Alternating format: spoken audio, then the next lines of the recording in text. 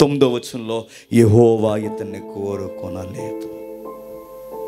పదో వచనంలో యహోవా మరలా చెబుతున్నాడు. తొమ్మిదో వచనం ముగిసి పదో వచనం స్టార్ట్ అవుతున్నప్పుడు నేను ఇతన్ని కోరుకోలేదు. మరలా పదో వచనంలో చివరి మాట నేను ఇతన్ని కోరుకోలేదు. మరలా కింది మాట నేను వీరిని కోరుకోలేదు. మరి ఎవరిని కోరుకున్నావు? పన్నెండవ వచనంలో నేను ఈ ఎర్రని వాడిని కోరుకున్నా.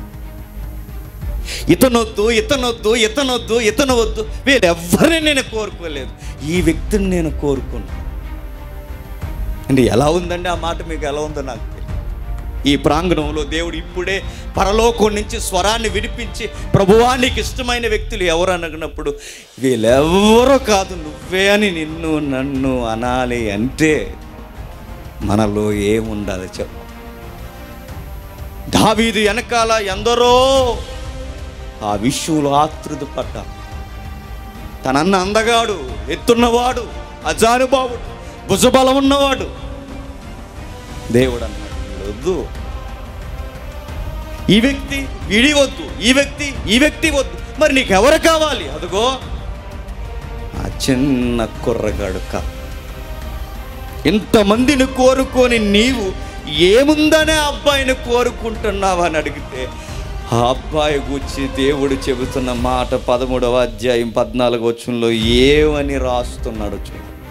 యహోవ అతని చిత్తానుసారమై మనస్సు గలవాణ్ణి కనుగొన్నాడు. దావీదికున్న దేవునిలో క్వాలిఫికేషన్ ఏంటో తెలుసా? ఆ యవనస్తుని హృదయం దేవుని కొరకు ఎదుగుతుందట. అది నచ్చింది దేవుడు.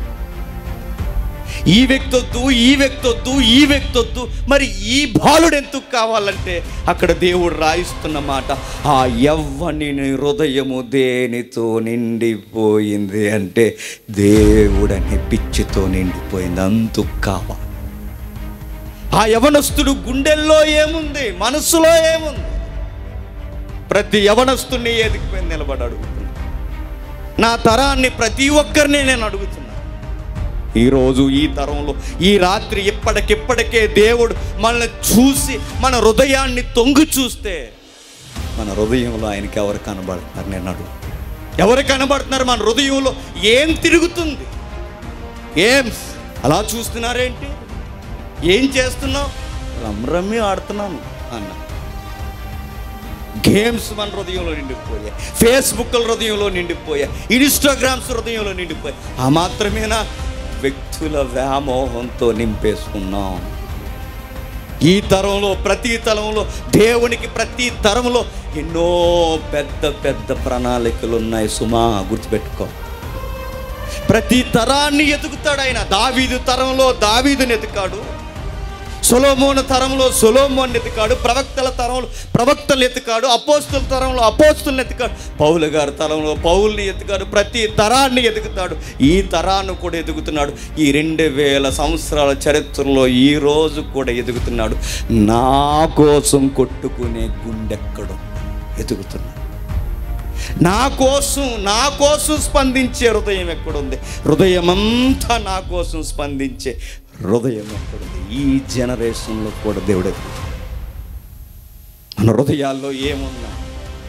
డబ్బు అధికారం పిచ్చి సెల్. మన హృదయాల్లో ఉందేంటో తెలుసా? మనల్ని పొగడాలి మనం బాగున్నామని చెప్పాలి. ఆ ఫేస్బుక్లో మనం అప్లోడ్ చేస్తే లైక్లు కామెంట్స్ లవ్ సింబల్ ఎక్సెట్రా అన్నా సినిమాల్లో ట్రై చేయకపోయావన్నా అనే కామెంట్లు. ఎన్ని ఎక్స్పెక్ట్ చేస్తున్నాం మనం? నీ నా హృదయాన్ని దేవుడు చూస్తే రోత ఉంది రోత మన హృదయంలో రోత. నీ నా హృదయాలను చూస్తే మన గుండెల్లో రోత ఆలోచనలు ఉన్నాయి రోత వ్యక్తులు ఉన్నారు. నీ నా గుండెల్లో అది పాతికిపోయి ఉండగనకే దేవుడు అన్నాడు ఈ వ్యక్తిని నేను కోరు దేశమంతా రాజులు ఉన్నారు దేశమంతా సైనికులు ఉన్నారు దేశమంతా అధిపతులు ఉన్నారు నువ్వు ఎవరిని కోరుకుంటున్నావు ప్రభు అంటే అదిగో ఆ మోగ జీవులు వెనకాల పాటలు పాడుకుంటూ తిరుగుతున్నాడే రింగు రింగుల తలేసుకున్న బాలుడు దావీదు.